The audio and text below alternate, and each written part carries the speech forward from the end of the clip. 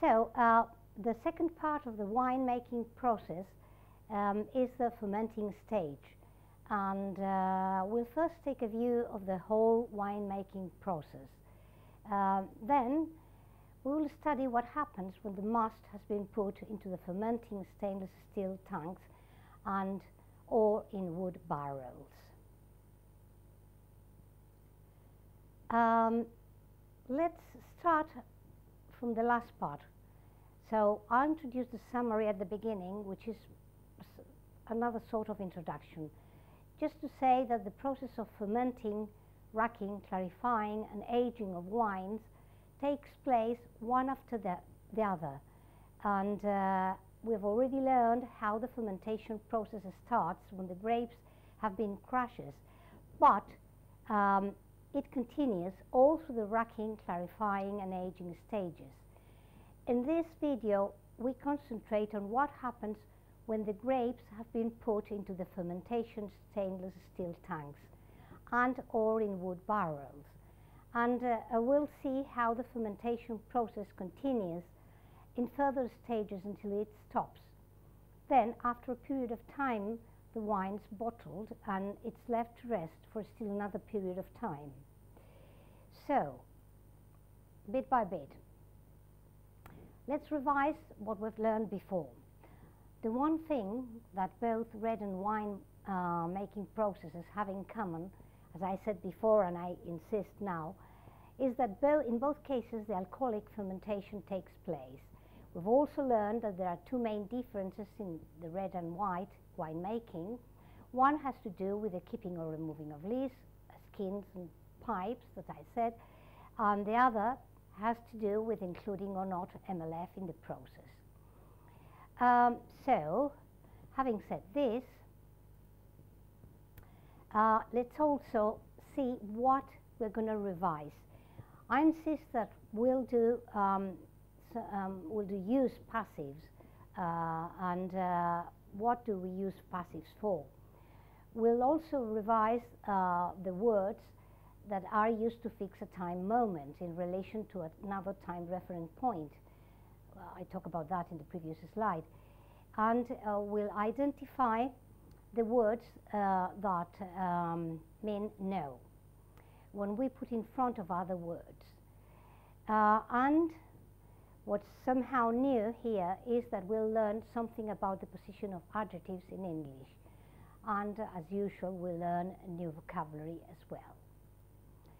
So, before we go any further, uh, we're going to concentrate in understanding and really understanding what fermentation is.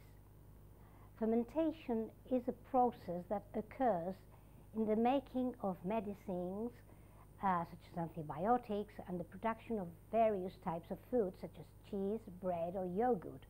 But it also occurs in the making of beer and wine.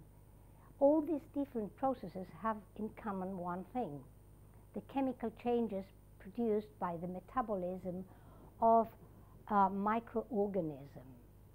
And now we need to understand first what metabolism is. What is metabolism? Well, uh, it is what happens when we put something nice in our mouth, like a cake, and start chewing it. Then our saliva mixes with the food and it starts to change uh, the components, the components of what we've put in our mouth. This is the beginning of the digestion process in us humans. A similar interaction also takes place when a microorganism, such as the one in the yeast, uh, interacts with the flour to produce bread or with milk to turn it sour and, uh, make cheese or yogurt, or when the grape's skins get in touch with the pulp of the grape. What is happening there is that the yeast changes the must and produces alcohol. This has to do with the metabolism of the bacteria in the yeast. Metabolism, after all, is just the, the bacteria's living process. So, two things about the fermentation stage. Uh, we'll go through these uh, processes one by one. We know that the alcoholic fermentation is a process that changes the sugar in, in, in the grapes um, into alcohol. We also know uh, what is malolactic fermentation, or MLF for short, um, which is a second fermentation that takes place when certain bacteria is put into the juice in the tanks. Then what happens is that MLF converts the malic acid on, of the grapes into lactic acid. And the process gives off a gas. Uh, this gas is called carbon dioxide or CO2. Because the lactic acid is less tart uh, than the malic acid it replaces, uh, the results are that uh, this process, MLF, reduces the acidity in the fermentation grape juice and in the finished wine. Uh, there's a Spanish expert uh, from the research group that I mentioned before that's called Maite Maillo and her colleagues in her research group explain that the malolactic fermentation is a truly natural biological deacidification. Um, but the alcoholic fermentation starts in the grapes and also continues in the must. Um, in the winemaking process, it begins, as I said, uh, with the glucose in the grape, and as I said before, the chemical process changes the glucose from the uh, grape juice uh, into ethyl alcohol and carbon dioxide, and uh, we've said that uh, the microorganism responsible for this chemical uh, change are yeasts. Um, so when the uh, fermentation process continues, let's say something about this microorganism responsible for those chemical uh, change that we call fermentation. The technical name or botanic name of this particular yeast involved in winemaking is Saccharomyces. I'll show it later. This term, like most botanic or zoology names, is taken from Latin too. Uh, this complicated Latin term is the name of the bacteria that produces the fermentation of the grape juice. Um, look at this new slide. Um, see the skins of the grapes uh, where the bacteria lives. Notice the whitish layer on the grapes. This is exactly the yeast. The bacteria it contains is what will change the must into wine. Uh, let's have a look at a microscopic a view or photograph of the yeast bacteria. It's not very um, mm, clear, but it shows how the, the yeast or the, the yeast bacteria um, get together in, in, in round or um, sort of roundish uh, forms. Um, let me tell you something about the genus Saccharomyces, because as, as a genus includes different types of yeast. It's a kind of fungi. Uh, there was a tradition in the Western culture of writing important things such as religious matters in the Middle Ages and in the Renaissance, uh, to writing important things such as religious matters or scientific things in Latin. Um, and finally, it turned out to be a good thing after all because it avoided disputes about whether to use English, Italian, or Swedish.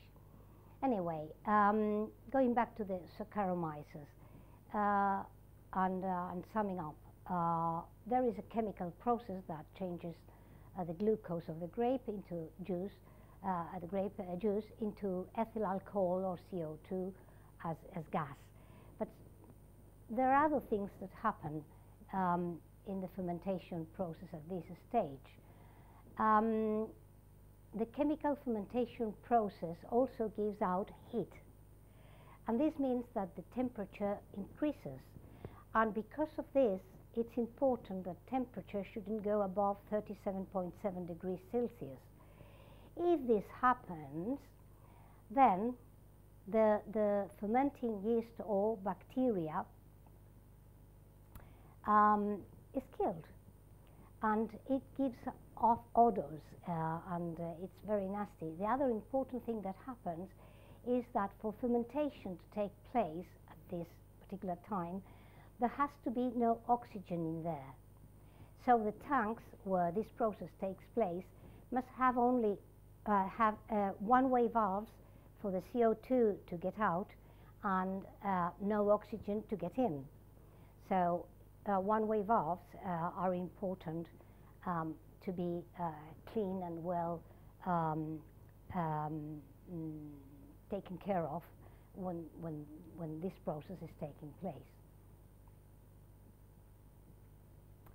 Um, another important thing is um, that while the species of yeast are often present in the skins of the grapes, um, they produce unwelcome odors when they ferment glucose into alcohol. To avoid this, uh, winemakers add a chemical called uh, sulfur dioxide to kill wild yeasts, not the good yeast, but bad yeasts. Um, this chemical addition is more important in white wine making than in red wine making. Um, and uh, now into um, linguistic terms, a final note on the difference between British and American spelling of the word sulfur. In uh, British English, um, it's uh, with PH, and in American English, it's just sulfur. As usual, Americans are more practical. Um, now, let's learn a little bit more about malolactic fermentation, or MLF for short.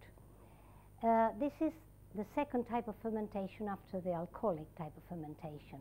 This new fermentation happens because another bacteria is inoculated, is put into the tanks, into the juice in the tanks, and it changes the malic acid into lactic acid.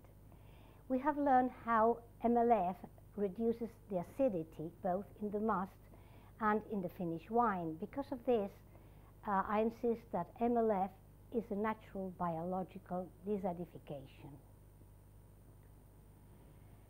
Um, when does fermentation finish? When does it finish?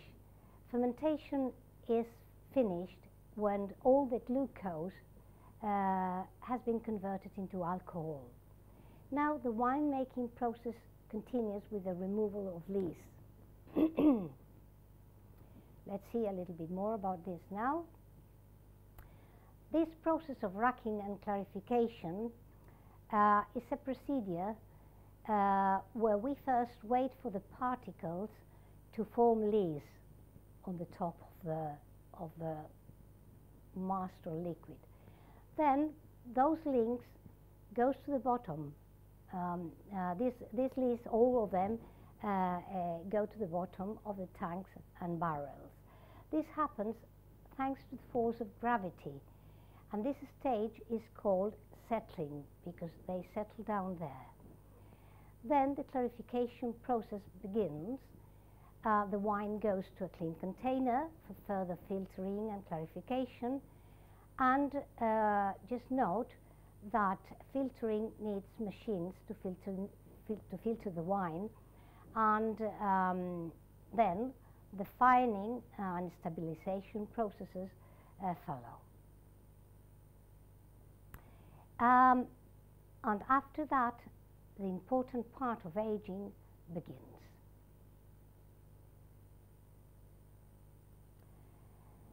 Um, so, just a brief uh, summary now. Uh, we've learned um, that there are two types of fermentation uh, all in all, we have learned a lot about uh, the process of winemaking.